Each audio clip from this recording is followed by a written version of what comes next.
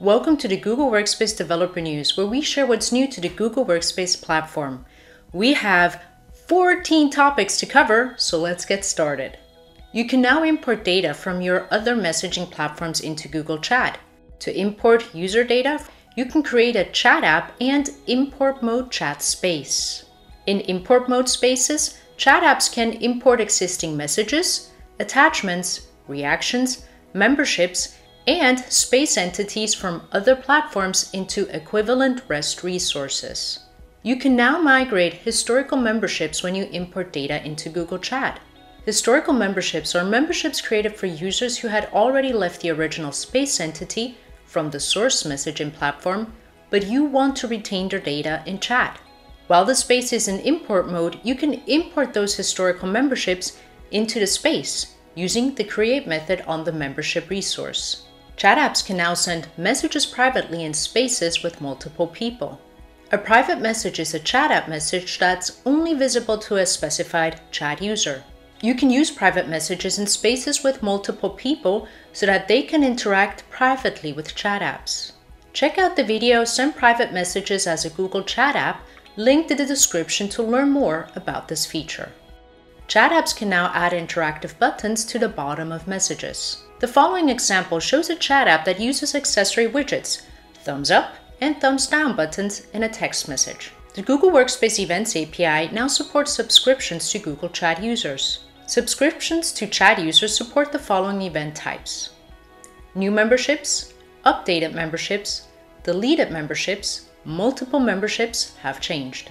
The Google Workspace Events API now sends lifecycle events when subscriptions expire. The API permanently deletes expired subscriptions. If your subscription expires, you can use the subscriptions.create method to create another subscription. The Google Workspace Events API supports the GET method on the operations resource. The operation resource represents a long-running operation that is the result of a network API call. With the GET method, clients can pull the operation results at intervals as recommended by the API service. Google Workspace add-ons now support link previews in Google Sheets and Slides. In contrast to Google Docs, third-party smart chips aren't supported for link previews in Sheets and Slides. When users type or paste a URL into a spreadsheet or presentation, Sheets or Slides prompts them to replace the link with its title as linked text instead of a chip. When the user hovers over the link title, they see a card interface that previews information about the link. Google Workspace add-ons now support third-party resource creation from the @ menu in Google Docs.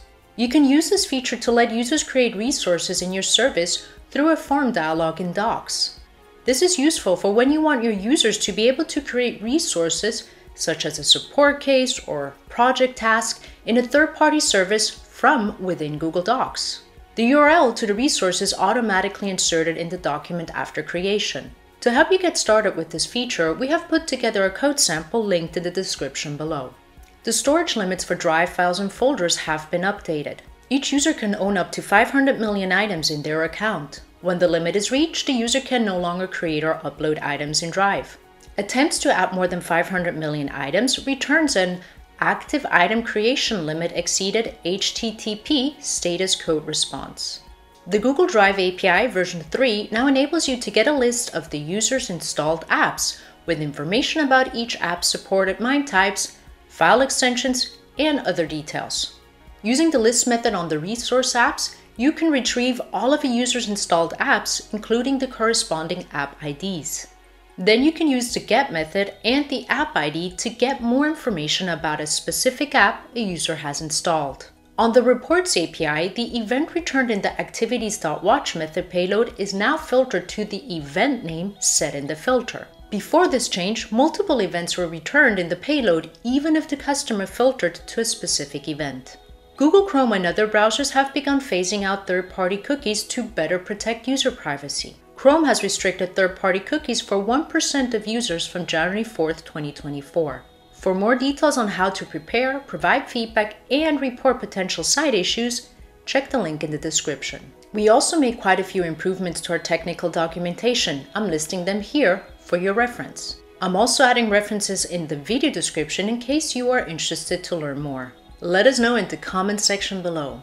Which new feature are you most excited about trying out? Make sure to subscribe to this YouTube channel so that you stay up to date with all things Google Workspace platform related.